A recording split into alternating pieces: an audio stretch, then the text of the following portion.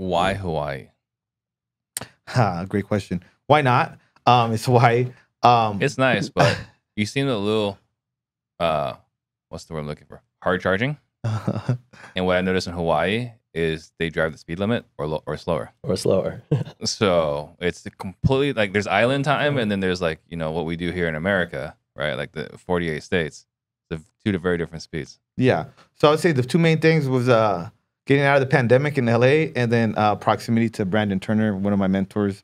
Um, I went on vacation uh, to Hawaii around the time, as soon as I quit the second uh, company I was working for, um, I wanted to take a long vacation. I went to Hawaii. Um, we ended up meeting Brandon. Um, he invited me to a mastermind that was like literally 10 days later. And I said yes. I came back. That's where I met Ryan Pineda, where I you know built that relationship with Brandon and several other amazing uh, uh, entrepreneurs, investors, and um, I kind of left with the th- thought of that that second trip, the mastermind. Like, man, there's a lot of ugly houses here too. Like, I, you know, you imagine Hawaii, and you think like it's perfect, but there's a lot of fixer uppers, fixer uppers there too. So I left thinking like, well, what if I could flip houses in Hawaii?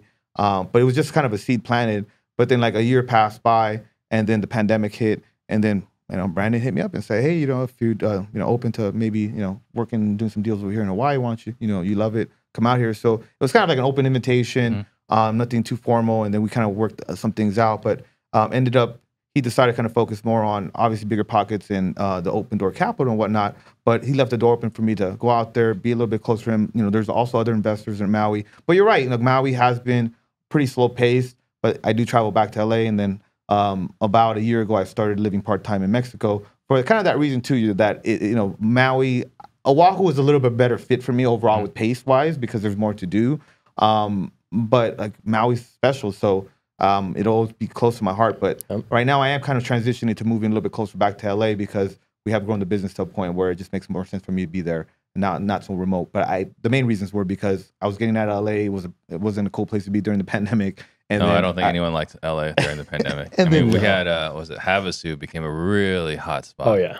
uh, during the pandemic. All right, so then uh, let's talk about you know flipping remotely. So you're the visionary living in Hawaii.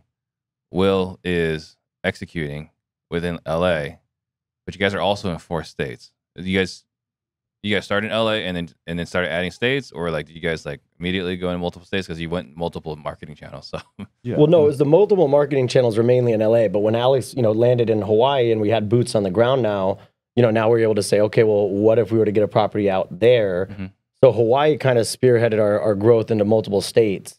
Um, and then actually, you know, did you once guys you, live in Hawaii? yeah, we have about four active, pro- yeah, four active projects on three different islands right now. So we have one on Oh, the Big Island, Different islands too. yeah, Yeah. Oahu and and Maui. So it's multiple islands, multiple states. Um, you know, if there's a deal and, and it needs, you know, repairs and needs work done, um, you know, it's typically something that's within our expertise. Mhm. So we're gonna try and get into that.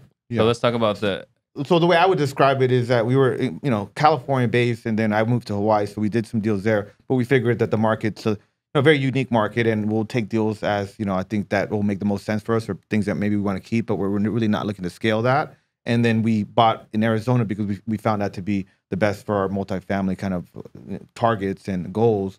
And then we happened to buy something in in um, Las Vegas recently that just kind of fell in our lap. And you know, we've got other things that have come up potentially there, but the I- I'd say it's more accurately to say three states than Yeah, four. so Yeah. predominantly LA and, and Hawaii. Yeah. Yep. Which are nice markets to flip in. So Yeah.